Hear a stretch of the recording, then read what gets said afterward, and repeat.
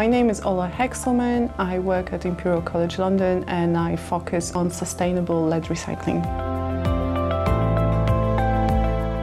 Despite all advancement in lithium-ion technologies currently, lead-acid batteries are still the most popular power supply for automotive industry. And not many people would know that in state-of-the-art electric or hybrid vehicles, there is still a lead-acid battery. Currently, lead-acid batteries are recycled by smelting, which is a high-temperature process. It's also very polluting if it's not done in a controlled way. In low and in middle income countries where informal practices are present, very often people suffer from lead pollution, with children being particularly affected by lead poisoning. And my project is focusing on developing a green alternative our process is solvent-based, meaning that we significantly reduce CO2 emissions and air pollutants, making the process more environmentally friendly. We also move from smelting at around 1000 degrees to much lower temperatures, making the process less energy intensive and cheaper.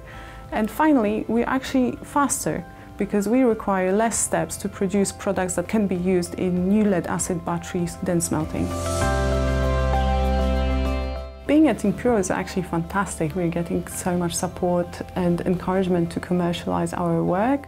Funding provided by the Faraday Institution and the fellowship will cover my salary costs for a period of time when I can fully focus on commercialization of my research project and we're going to further develop our business model. It will also contribute to costs associated with building a prototype Another form of support from the Faraday Institution will include connecting us directly with experts in the battery manufacturing and recycling fields, both from academia and industry. It is a very enriching experience, broadening your horizon and looking at your research from a very different perspective.